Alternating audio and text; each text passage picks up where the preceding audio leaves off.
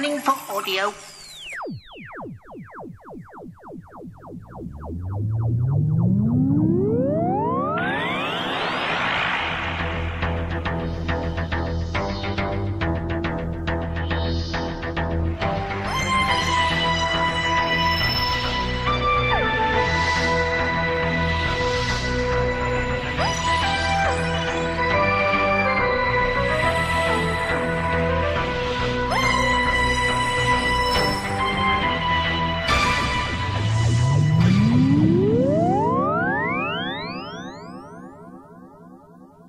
Welcome to a Tin Dog podcast, this time discussing main range release number 211 And You Will Obey Me. Yes, with a title like that, you've got the master on the cards, really, haven't you? It's fairly obvious, let's face it, he's on the cover. And it's Zombeavers, as some people so lovely put it. Yes, Geoffrey Beevers' master. The sort of default, falling apart, desiccated master. Now, Geoffrey Beevers does have by far the best master voice going. And he is, by all descriptions, evil. The guy does evil things because he can, just to distract himself from his imminent demise. He's constantly trying to survive. Story opens with the grandfather clock up for auction, and the fifth doctor bidding with money he simply doesn't have. Tell you what, let's have a read of the synopsis before we go any further. The Master wandered for crimes without number across five galaxies. The Master escaped his pursuers' last known location, rural Hexford, England, Earth. The Master, dead and buried in an unmourned grave in a lonely churchyard. Apparently. You see, the problem is with this story and with the next two, because let's face it, this is a trilogy. The fifth Doctor's in this one, the sixth Doctor in the next one, and the seventh Doctor in the following one. And this is the multiple Master trilogy. The chances are we're going to end up with a two Masters story, or even a three Masters story later on. And it's about time we had that sort of thing. It's the sort of thing that we fans have been wanting for a while, but of course, all we want is we want lots of masters in the same story, as opposed to going, what we think is that the master should meet the other master in this particular scenario and give anyone an actual story. All we want is lots of things. We have that feeling of entitlement that we really shouldn't have. But that's another story for another time. What I want to do tonight is tell you all about this particular story because it's great. Yes, the last trilogy have been brilliant, and we are, well, we're Nyssa and Teganless. They've been dropped off somewhere in 1982, and now it's 2016 ish.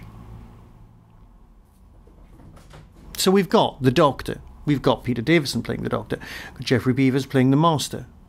But then you've got lots and lots and lots of other characters almost to a point where you're going, so who's this now? But that so rarely happens, and in a cast of this size, that's brilliant writing to be able to pull that off. Jamie Anderson's direction is going from strength to strength. He's proving that he is a very good director in completely his own right. Any family connections only get you through the door. Talent will keep you there. And that is what he's demonstrating in spades. Now, there's a new thing happening at Big Finish, and it's worthy of mention. The title is being released in April 2016, but it's only going to be exclusively available to buy from the Big Finish website until the 31st of May 2016. And then it's going to be on general sale after that. So if you want this story, you have to go there and get it. As a marketing ploy, it's genius. I'm not sure whether it'll help or whether it'll hinder, but it is worth worthy of trying. It's nice that they're constantly moving and trying new things. It's not like the story isn't available, but if you want it now, that's where you're going to have to go. And trust me, you do want this now. It's a very good beginning of an arc. You get to see the master being the master, but you also get to see a different angle. You get to see impact, the sort of thing that the new Doctor Who series has been dealing with in spades, but the classic series, well, avoided left, right, and centre.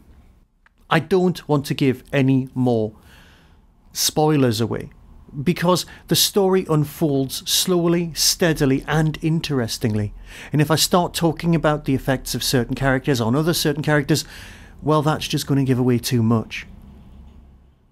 So perhaps I'll do some sort of retrospective this time next year where I can look back at all three stories and the way they interla- interlock.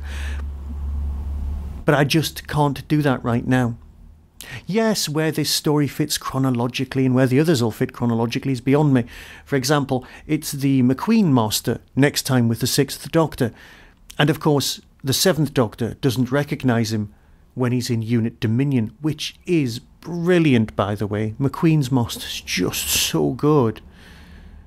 So, how all of these stories fit and how they all interlock into the larger canon either means A, you're going to ignore things, and let's face it, this is Big Finish, we don't do that round here, or B, we don't do that round here, this is Big Finish, we're going to take care of it, trust us. And I'm, for one, um, with trusting Big Finish, I truly am. So a brilliant story, a brilliant addition to the to the whole of the main range, and I would totally recommend that this story go on. So with that, I'll fade away and let you get on with the rest of your lives. So until next time, well, I'll probably be talking about Doctor Who. Be seeing you. Coming soon from Big Finish Productions. Lot 41, ladies and gentlemen. Quiet, please. That's what I'm after too. Really? Why? You came here for the clock, didn't you? I read about Mikey. Then when I saw the clock was up for auction, I thought, well, same as you, I guess. Dragon Master, there is a creature here with a staser gun. Wait a minute. When was this? 1984, obviously. We do not trust Time Lords. What are you going to do? Fly me there? Obey me. Obey. Doctor Who, and you will obey me. What fun we shall have. Big Finish. We love stories.